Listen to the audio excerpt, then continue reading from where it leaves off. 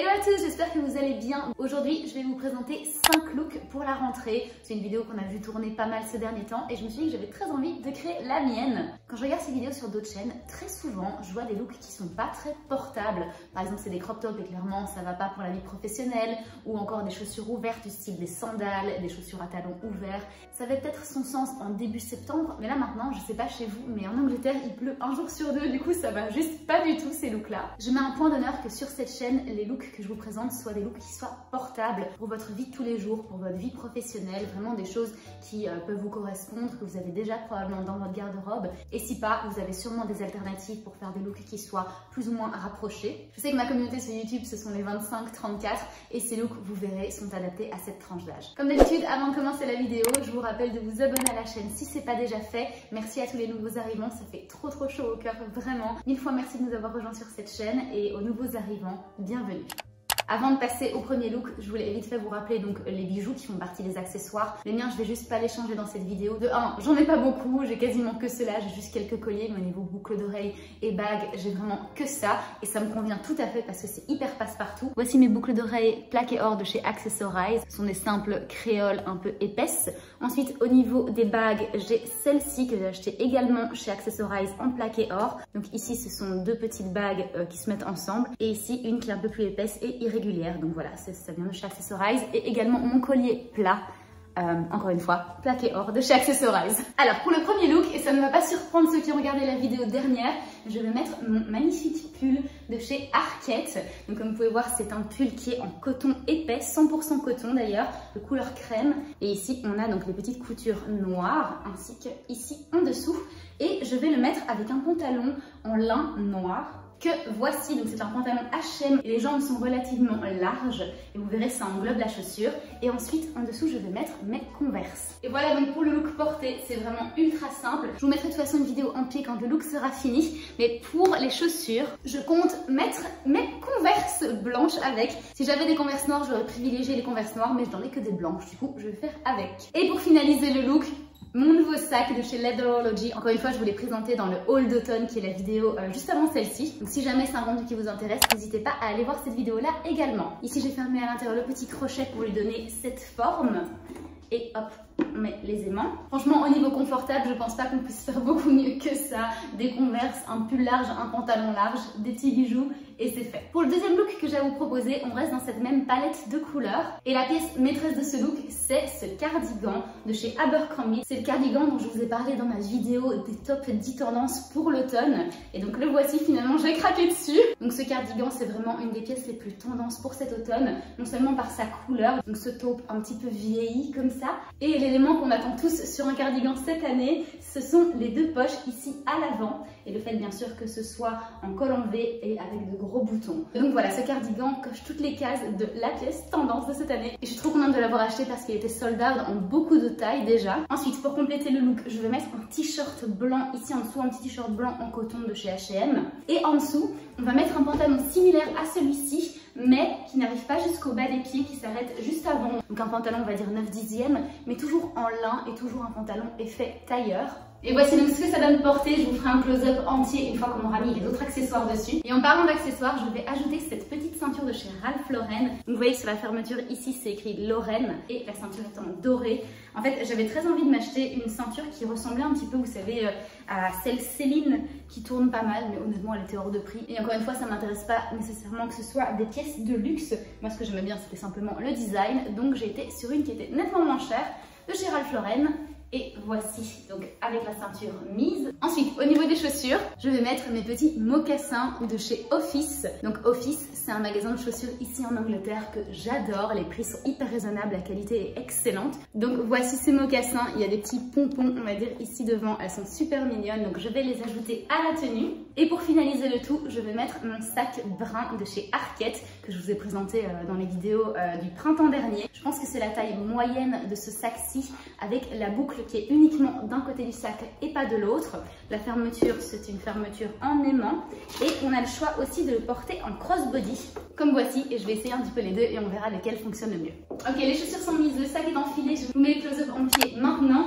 Et euh, vraiment, j'adore ce look, c'est classe, c'est hyper pratique. Si vous pouviez toucher la matière du cardigan, oh, on a juste envie de jamais l'enlever tellement il est agréable au toucher. Ce que j'adore aussi, c'est que les manches ici soient pas refermées, elles sont un petit peu larges. C'est ce qu'on aime aussi avec ce type de cardigan pour cet automne. Et clairement, je pense que porter le sac en crossbody, c'est la manière de finaliser ce look. Je valide à 100%. En même temps, c'est un petit peu moi qui ai fait ce look, donc forcément, je les valide. Mais vous voyez à quel point c'est facilement portable. On a la touche ici avec la ceinture qui donne élément de préparation. Comme quoi, on n'a vraiment pas besoin de talons pour être nécessairement classe. Il suffit de bien choisir ses pièces et de bien composer le look en fait. Le prochain look, je pense qu'il risque de vous surprendre un petit peu parce que je me suis aussi surprise à vraiment bien aimer. Je pense qu'au départ, c'était un petit peu genre... Hmm, non, peut-être pas. Et puis au final, avec le temps, bah, je pense que j'ai vu tellement de gens porter ça euh, dans la rue ici à Londres que je me suis dit bah, pourquoi pas essayer. Et je vous assure qu'une fois que vous l'essayez, vous ne voulez plus le lâcher, ce look. Donc c'est un petit peu plus sur la vibe effortless euh, et sport que je propose en général pas trop sur ma chaîne mais vraiment essayez et vous verrez. Alors les pièces de ce look semblent un petit peu dépareillées mais vous verrez qu'une fois que ce sera porté ça donnera super bien. Alors on commence vraiment très simplement, je vous ai dit c'était un look effortless avec ce t-shirt de chez Arket. Je pense que c'est la troisième fois que je parle d'Arket dans cette vidéo. Si jamais quelqu'un d'Arket passe ici, n'hésitez pas à m'envoyer un petit email. Mon adresse est mise en barre d'infos. J'attends votre email. Pour revenir donc à ce t-shirt, c'est un t-shirt vraiment tout simple, oversize, noir. Les manches ici sont un peu larges, donc elles arrivent quasiment au coude. C'est ce que j'adore euh, par rapport à ce t-shirt. Et au fait également qu'il soit très épais. Depuis que je l'ai acheté du style en juillet, je le mets euh, toutes les semaines. C'est une des pièces que j'ai portées le plus tellement elle est facile à porter. Avec un petit collier doré comme ça, ça ressort super bien. Ensuite, la deuxième pièce de ce look, et je vous ai dit que ça ferait pas grand sens du premier coup, mais c'est ce legging noir que j'ai acheté sur Amazon. Donc vous voyez, il y a vraiment les coutures qui sont faites pour euh, vraiment bien tenir tout en place. On va dire ça comme ça. Je l'ai payé, je pense, une quinzaine de livres sur Amazon. Donc euh, vraiment super bonne affaire, je l'adore. Vraiment top pour faire du sport ou juste pour euh, aller faire vos courses vite fait si vous n'avez pas envie de vous habiller nécessairement super classe. Donc ce legging noir avec le t-shirt arquette noir. Ensuite, la pièce qui ressort un petit peu plus dans ce look, c'est ce magnifique manteau de chez Uniqlo que j'ai acheté quand j'étais au Japon et je pense qu'il est encore en vente chez Uniqlo. Comme d'habitude, ce qu'on trouve chez Uniqlo, donc des pièces très classiques. Il y a une capuche ici derrière. C'est un vert un petit peu terni, vous voyez, il n'est pas très flashy. Et ici, il y a des chouettes cordons à l'intérieur qui vous permettent de resserrer à la taille. Et même quand vous ne le resserrez pas, ça donne quand même un effet centré. Donc vraiment, je trouve cette veste splendide. Elle est coup de vent, elle fait un petit peu effet ciré. Parce que si jamais il pleut, les gouttes vont juste glisser sur le manteau et pas du tout boire l'eau. Et ensuite, on a deux poches donc euh, de chaque côté ici. Ce sont des poches qui sont un petit peu en diagonale, comme vous pouvez le voir, pas des poches droites. Et vous allez voir ce que ça donne avec le look maintenant. Et voilà ce que ça donne avec la veste. Ensuite, au niveau du sac, on va remettre celui de Leatherology. Parce qu'en fait, j'ai que deux sacs noirs. J'ai mon sac Kurt Geiger qui est petit comme ça et matelassé. Et je trouve pas que ça aille bien avec le look un petit peu effortless. Donc je pense que Leatherology irait mieux. Surtout que c'est vraiment un look, euh, je vais faire mon shopping décontracté. Et je pense qu'un petit sac, ça n'aurait aucun sens pour aller faire du shopping. Et ensuite, au niveau des chaussures, et vous remarquez que j'ai quand même attendu le troisième look pour vous les sortir. Je vais mettre mes euh, Samba de chez Adidas, donc c'est les Samba originales de chez Adidas en pointure 38. Normalement je fais du 37 mais n'oubliez pas, ces chaussures taille hyper petite donc n'hésitez surtout pas à augmenter d'une pointure quand vous les achetez. je vais mettre ces chaussures là avec et je pense que maintenant vous avez fait une petite idée de à quoi ça va ressembler tout ensemble. Et voilà donc pour le look en entier. Donc euh, au niveau des chaussures j'ai également mis mes chaussettes Adidas pour que ça aille avec les chaussures que j'ai fait passer au-dessus du legging. Et je vous promets, si vous venez à Londres, j'y mets ma main à couper, que vous allez voir une fille habillée comme moi dans le métro. Peut-être pas avec cette veste-ci, parce que ça, c'est une veste que j'ai achetée il y a quelques mois de ça. Mais avec ce look de legging, chaussettes par-dessus et les chaussures Adidas Samba, je vous promets, c'est genre le look de la saison. C'est trop bizarre, mais c'est vrai. Pour notre quatrième look, j'aimerais vous présenter ce pantalon de tailleur gris. Je vous ai parlé en long et en large des pantalons de tailleur de couleur grise dans ma vidéo, encore une fois, des top tendances pour cet automne 2023. Et finalement, j'ai craqué pour celui de Stradivarius, donc le voici. Il est vraiment très long et les jambes sont extrêmement larges. Quand je l'ai essayé, il m'englobait totalement le pied et même passait en dessous. Donc je pense que c'est vraiment une pièce qui est très pointue pour cette saison-ci. J'espère qu'elle le sera encore à la saison prochaine. Donc je vais laisser mes sambas au niveau des chaussures parce que c'est ce qui va le mieux avec cette couleur-ci. Et ensuite au niveau du dessus, je vais mettre ce débardeur noir de chez Mango. Donc c'est vraiment un petit débardeur classique et actuel en même temps. Et par-dessus, je vais mettre mon trench court de chez Shein qui franchement est d'une excellente qualité. Je pense que je vous l'avais présenté dans mon premier haul Shein et bien sûr je sais tous les débats qu'il y a autour de Shein. Je ne parvenais juste pas à en trouver un qui soit exactement comme je voulais et je l'ai vu sur Shein et c'est une des pour lesquelles j'ai fait ce haul à la base. Et voilà donc pour le look, je vais ajouter la petite ceinture noire de chez Ralph Lauren qu'on avait mise tout à l'heure. Et voilà donc pour le look. Et au niveau du sac, je me disais que je mettrais bien cette petite merveille de chez Chloé. Donc c'est le Chloé Tess que j'ai depuis maintenant, je pense, deux ans. Et je pense que ça va très très bien avec ce look.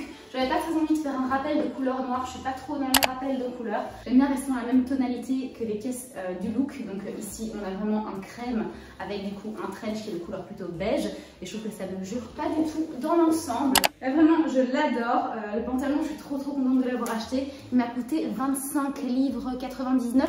Donc c'est une trentaine d'euros, on va dire. Et là où d'habitude la qualité de Stradivarius, je l'ai trouvé plutôt médiocre. Ce pantalon-ci, je l'aime vraiment beaucoup. On arrive déjà à notre cinquième et dernier look de ce lookbook d'automne. Et pour ce dernier look, j'ai décidé d'aller vraiment sur quelque chose de très classique que vous pouvez porter en journée comme en soirée. Et la pièce, on va dire, forte de ce look, c'est cette chemise de chez Lily Silk. Bien évidemment, vous n'avez pas du tout besoin d'avoir la même chemise que moi. Moi, j'ai craqué sur celle-ci, tout simplement parce que je me suis fait influencer par euh, bah, les influenceuses sur Instagram, quoi. Et elle est vraiment d'une qualité assez incroyable. Donc, c'est de la soie.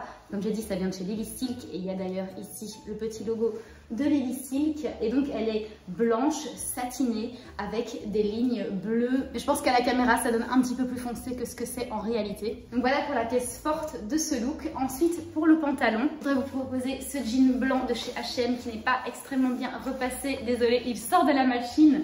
Euh, c'est un pantalon blanc en taille 38. Au niveau de sa longueur, il va jusqu'à la cheville et c'est un pantalon droit. Donc pour le coup, cette fois-ci, c'est pas un pantalon à jambes larges, c'est vraiment un pantalon droit, blanc, vraiment tout simple. Et comme c'est l'automne, bien évidemment, je voulais vous proposer une couche supplémentaire, surtout si vous envisagez de mettre ce look en soirée. Et voici le blazer que je vous propose pour ce look. Donc c'est un blazer de chez Reese qui est relativement long, d'une couleur camel et les boutons sont noirs ainsi que dorés. Il est encore dans la collection actuelle chez Reese, mais moi je l'ai sur Vinted à un tiers du prix, donc vraiment j'adore ce site Vinted, c'est génial. Et en fait, le fait qu'il y ait comme ça les deux sets de boutons, on appelle ça double breasted en anglais. Et ensuite ici, on a deux fausses poches de ce côté-ci et de ce côté-ci, une poche. Donc voilà, c'est vraiment un blazer que j'affectionne tout particulièrement. Vraiment, c'est un blazer qui est lourd et un petit peu cintré également. Je ne sais pas si vous vous souvenez dans ma vidéo des tendances de l'automne, je vous disais que les blazers maintenant tendaient à devenir de plus en plus cintrés et c'est le cas pour celui-ci. Donc euh, maintenant, il est vraiment au top de la tendance. Alors je vous propose ici de mettre une ceinture la même que celle Ralph Lauren noire, mais en brun. Donc je l'ai en deux couleurs, en brun et en noir, parce que je savais qu'avec ma palette de couleurs, j'aurais besoin des deux. Hyper simple comme look, ça peut se porter au travail, pour aller boire un verre avec des copines ou pour aller au restaurant en soirée. Au niveau des chaussures, moi je vais mettre mes chaussures de chez Chanel, donc les slingback avec le bout noir. Donc voici le modèle, je les adore, mais je ne les mets pas suffisamment selon moi. Je les mets rarement en journée, même si franchement je devrais. Récemment, j'ai été les faire ressemeler, donc je les ai pas mises depuis, mais franchement c'est nécessaire si jamais vous achetez des chaussures de luxe. Le problème c'est que la semelle est en daim hyper fragile et dès que vous commencez à marcher, ben, ça s'arrache. Donc il faut toujours penser à passer chez le cordonnier avant de les mettre. Et ensuite pour le sac, pour ajouter un petit peu d'originalité, je vais aller sur le Michael Kors bleu marine ici. Le modèle est ultra simple mais très quali. Regardez un petit peu la chaîne dorée ici, c'est pas du tout de l'or, c'est juste couleur dorée, mais c'est absolument pas oxydé et ça fait des années que je l'ai. Donc vraiment une top qualité. Le modèle est très simple. C'est pour ça que je trouve qu'il va bien avec ce look. Maintenant, je vous montre en pied avec les chaussures pour que vous puissiez voir. On est d'accord que les Chanel sont absolument pas nécessaires pour ce look. Mais si vous avez un équivalent comme ça de chaussures euh, slingback ou juste de ballerines beige avec un bout noir, ça apporte vraiment, je trouve, une touche de classe au look. Sinon, des ballerines beige toutes simples ou juste une couleur nude en général, que ce soit des chaussures à petits talons, des chaussures à talons aiguilles, si jamais vous voulez vous y tenter. Mais restez dans les tons plutôt nude, je pense, pour ces chaussures-ci. Étant donné que dans ce look, la forte, c'est la chemise. On n'a pas envie d'attirer trop l'attention sur le reste des accessoires. Donc voilà pour ce cinquième et dernier look. Et voilà les amis, c'est déjà la fin de cette vidéo. Je vais pas vous mentir, mon salon est en énorme désordre. Je vais mettre une heure pour le ranger tellement il y a des vêtements qui traînent partout. Mais bon, j'espère que ça en aura valu la peine et que vous avez apprécié cette vidéo. Si c'est le cas, n'hésitez pas à laisser un petit pouce en l'air pour me soutenir. N'hésitez pas également à vous abonner à la chaîne si ce n'est pas déjà fait. En attendant, un petit update par rapport à la chaîne, je vais changer ma vitesse de publication, à savoir toujours une vidéo par semaine au niveau mode. Mais pour ce qui est des vlogs, je vais ralentir un petit peu et je vais plutôt en faire un toutes les deux semaines, voire un toutes les trois semaines et condenser un petit peu tout ce qui se passe dans ma vie. Donc voilà pour la petite update. Je se retrouve la semaine prochaine pour une nouvelle vidéo mode et en attendant, prenez soin de vous. Oh.